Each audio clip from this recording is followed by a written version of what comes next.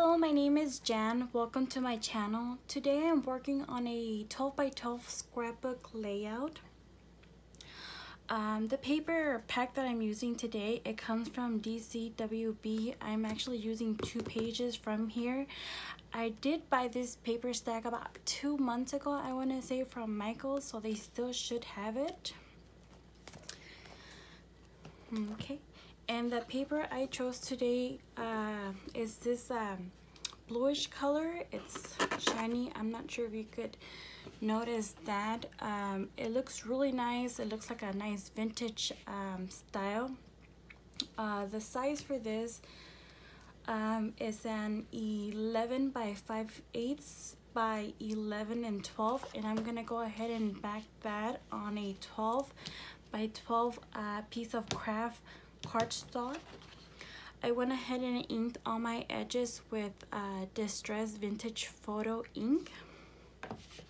Okay so I'm gonna I'm going to go ahead and adhere this down. And I'm using my zip dry glue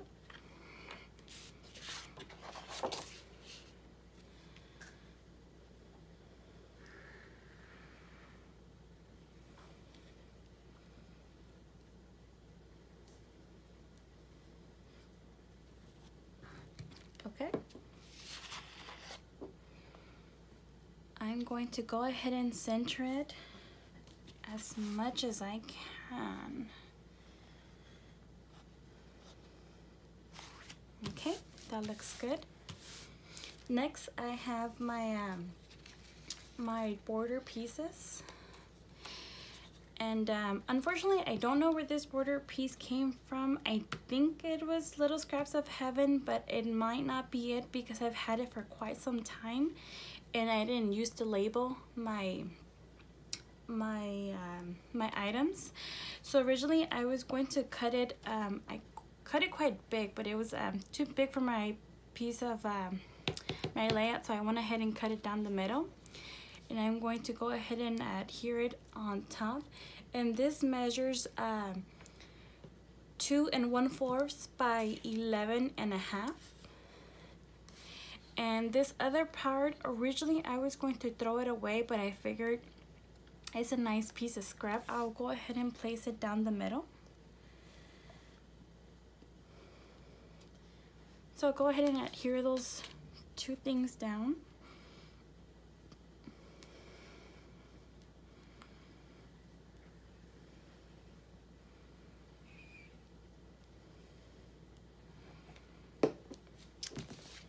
and I will bring it to the top. That looks good. Okay.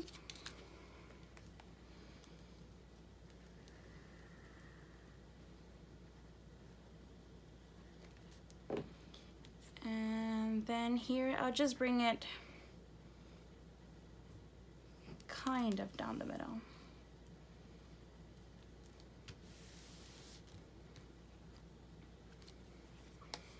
Okay. Now I have two more uh, border pieces. Um, this one, I do believe it does come from Little Scraps of Heaven. I'm not too sure. I'll double check. Um, here it's cut at half an inch by 11 and a half inches. And I'm going to go ahead and place one on top and one down here at the bottom. Now I know they're both pink um, and it doesn't stand out as much, but this is for my daughter and her favorite color is pink so I think she would be okay with that. She's four. Okay.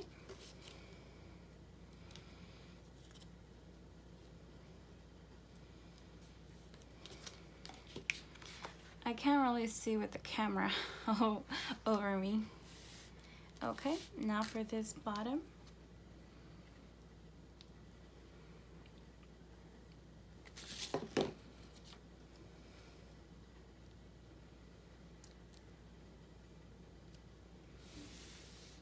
Okay, that looks good. Next for my die cuts, my first uh, piece, it's this teacup. Um, uh, this measures um, six and a half by 3 and this is from uh, Miss Kate's Cuttables and I'm going to go ahead and place it here and I'm going to go ahead and tilt it to the side. Uh, oh, I forgot my, um, my mats. So I have two. Uh, this one I'm going to go ahead and place it down here. My photo mats, uh, this is the other one. Um, inside it measure, measures uh, 5 and 1 eighths by 4 and 1 fourth.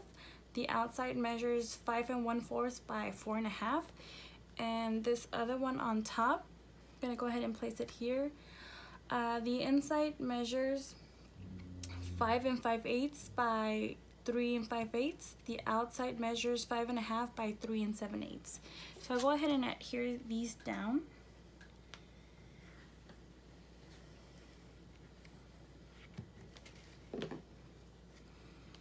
Okay, and I'm going to go ahead and bring it um, towards the bottom. I will leave just a little bit of, of pink.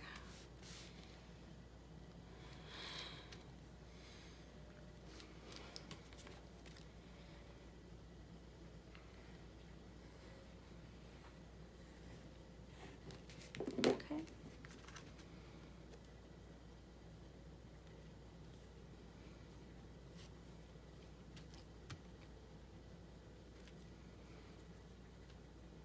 Okay, so I have my uh, my teacups next. I have my Alice. I went ahead and gave her brown hair because my daughter does have brown hair. And I popped her up on one layer of foam tape just to give her a little bit of dimension.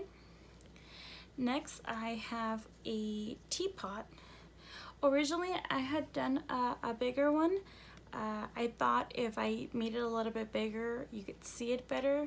But once you actually put it here, it was it was too big. So I went ahead and uh, went back and cut another one using the same paper as this one. And I also popped it up on one layer of foam tape.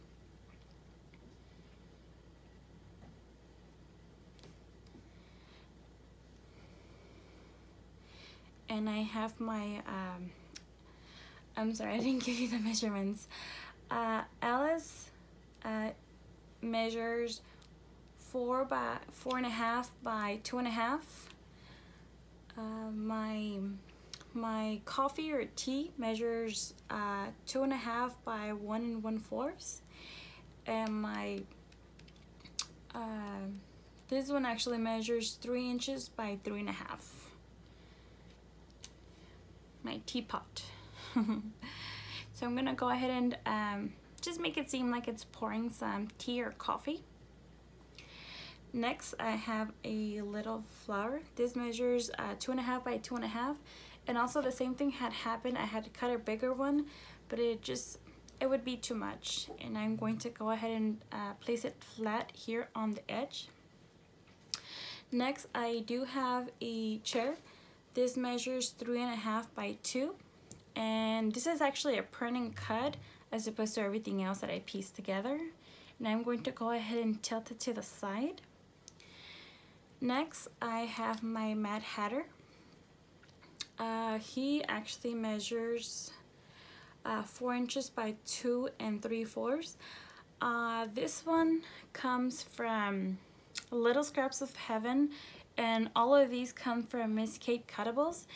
The only thing I had accidentally forgotten to print his eyes um, and I was a little bit lazy to go back and just to cut eyes so instead what I ended up using was my Peachy Keen stamps. This is the PK by PK 1540 and I believe I used this one right here for his cute little face and then I went ahead and added a little bit of bling and I also popped them up on one layer of foam. Okay, I'm going to go ahead and start adhering uh, my die cuts down. It's not sticking.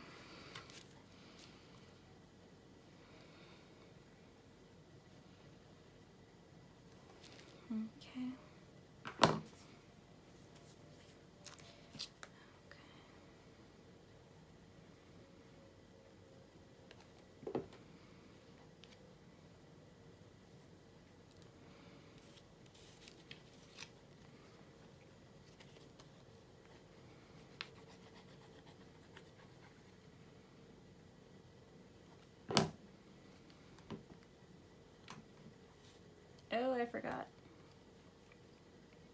That's okay. Okay.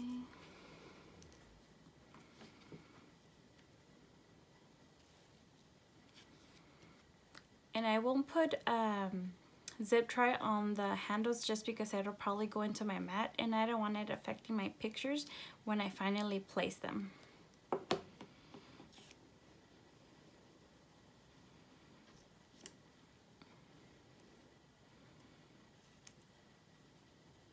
Okay, and this one I'll adhere down flat.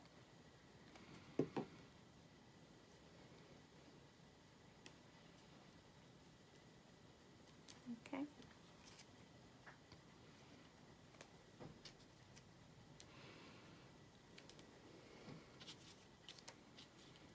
I think my chair will be a little bit tricky because it's thin little little pieces. Okay. And lastly my my Mad Hatter.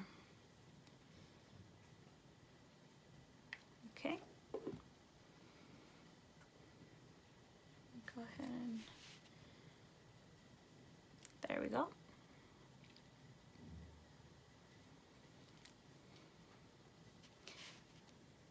And there you have it. That concludes our layout for today. Thank you so much for watching. I hope you enjoy the rest of your week. Bye now.